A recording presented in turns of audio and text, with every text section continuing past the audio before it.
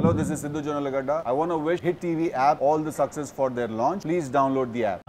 ఇరవై గంటల గంటలు కరెంటు కావాలన్నా మూడు గంటల కరెంటు కావాలన్నా మీద చర్చ జరగడం జరిగింది రేవంత్ రెడ్డి గారి గురించి ఏమంటారంటే రైతులు మళ్ళీ రైతు అనేవాడు ఇక్కడ అన్నం తినకూడదా రైతు అనేవాడు ఆర్థికంగా ఎదుగుదలకు దోహదపడుతుంటే కేసీఆర్ ప్రభుత్వం అది ఎదుగుదలకు ఉపయోగపడకుండా అడ్డుకట్టడం కోసం ఏదో ప్రయత్నం చేస్తున్నారు రేవంత్ రెడ్డి గారు మరి వాడు రైతు అయితే ఆ రకంగా మాట్లాడకుండొచ్చు రైతు కానట్టుంది రైతు కుటుంబంలో పుట్టిన కొందరు అంటారు రైతు కుటుంబం కానట్టుంది వాడు అనేది ప్రధాన చర్చ అది.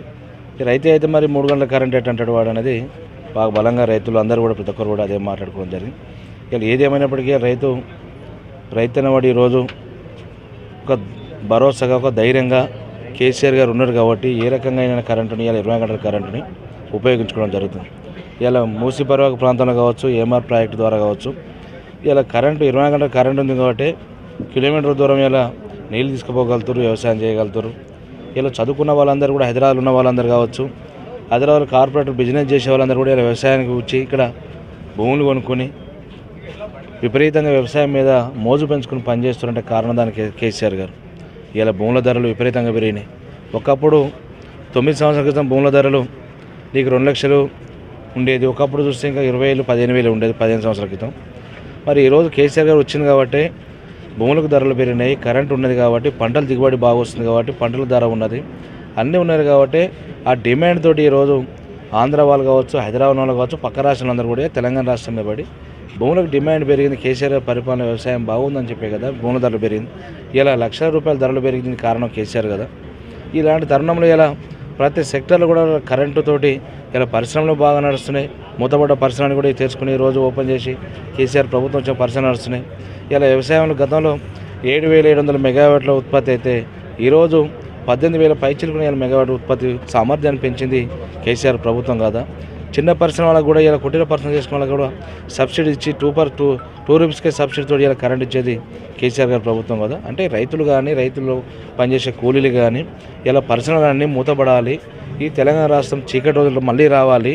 ఆ రకంగా వచ్చినప్పుడే మళ్ళీ కేసీఆర్ గారి మీద ఏదో మోజు తగ్గించుకుని ఈయన మీద పెంచుకుంటారనే భ్రమలో ఉన్నాడా? లేకపోతే ఆ దొంగ ప్రకటన ఎందుకు చేసిన సంగతి బీజేపీతో ఒప్పందం పెట్టుకుని చేసిన ప్రజలు చర్చ జరుగుతుంది. ప్రజల్లో ఆవేదన గురవుతారు. ఎందుకంటే కాంగ్రెస్ పార్టీకి ఈ రకమైన మాటలు మాట్లాడినప్పుడు ఏ రకమైన బుద్ధి చెప్పాలి?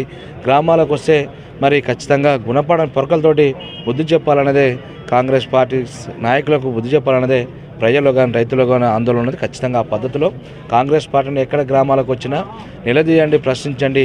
ఇరవై గంటల కరెంట్ ఇస్తాం మూడు గంటల కరెంట్ ఇస్తామని చెప్పిన మాట ఏంది? ఇలా సంక్షేమ పథకాలను రద్దు చేస్తున్న మాట ఏంది? ఇలా ఇంత పెద్ద ఎత్తున పక్క రాష్ట్రాలు కానీ ఎక్కడ కూడా జరిగిన సంక్షేమ పథకాలు ఇలా రైతు బీమా కావచ్చు రైతు బంధు కావచ్చు కళ్యాణ లక్ష్మి కావచ్చు ఆసరా పెన్షన్ కావచ్చు అదేవిధంగా ఇలా విద్య వైద్యం అన్ని రంగాల్లో భారతదేశానికి ఒక ఇలా దిక్సూచిగా కనబడుతుంది తెలంగాణ రాష్ట్రం.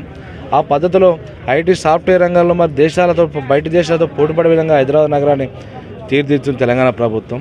అలాంటి తరుణంలో ఇలా దిక్కుమాలిన మాటలు మాడితే మీలాంటి దుర్మార్గులకు ఏ రకంగా బుద్ధి చెప్పాలన్నది ప్రజలు ఆలోచిస్తున్నారు మీరు గ్రామాలకు వస్తే పిచ్చి కుక్కలకు వచ్చిన కొట్టే పరిస్థితి ఉంటుంది రేవంత్ రెడ్డి.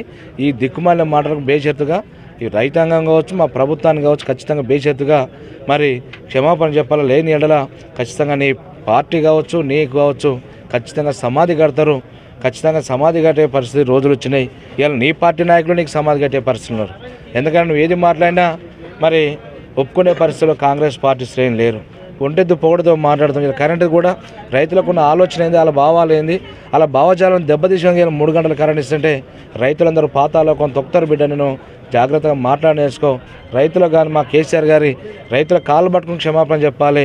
కేసీఆర్ గారు కాలు మట్టుకుని తప్పిదం మాట్లాడని చెప్పి క్షమాపణ కోరాలి లేకుంటే నీ గుణపాఠం ఏ పద్ధతిలో చెప్పాలో ఆ పద్ధతిలో తెలంగాణ ప్రజానికం రైతాంగం చెప్తారని హెచ్చరిక చేస్తున్నాం. Hit TV app all the success for their launch please download the app download the Hit TV app now please download the app now please download the app now please download the app now download the app now